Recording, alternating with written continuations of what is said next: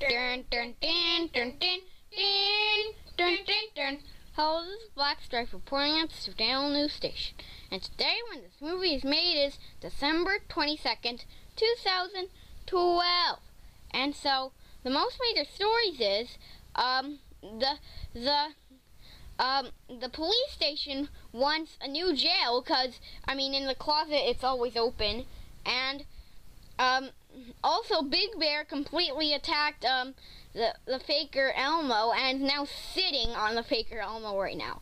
Yeah, and as you heard on the last Black Stripe News Flash, there was two pursuits with her, and Enid wanted to kill her. And also, um, the Faker Elmo in one of the pursuits went up a slide like it was a ramp, so that was pretty major. And so, yeah, now it's Soft Monkey. Okay, and so you basically heard all the day's major stories from Blackstripe, and now we bring you live at the mayor. So, what's been going on my mind is that there needs to be more jobs in Stuffed Animal City.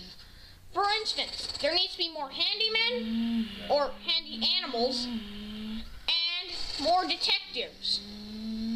And so, yeah, due to due to the mystery of the serial killer, that orange cat with the black collar on Cat Attack, and mm, I forget why we need more. Oh yeah, and the houses keep uh, getting uh, uh. all messed up, and Elliot has to fix them, but not anymore.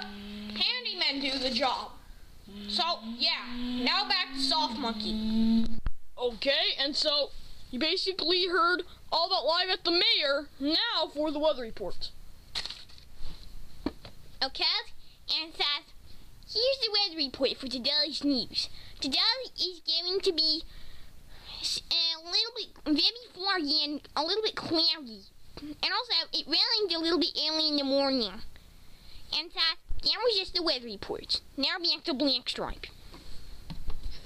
And so that's pretty much all I have to say. I'm Blackstripe. And I'm Soft Monkey. And I'm Grinch. Thank you, and good night.